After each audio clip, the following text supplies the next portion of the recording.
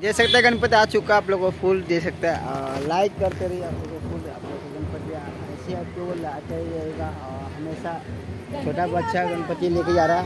और full video को दे सकते हैं।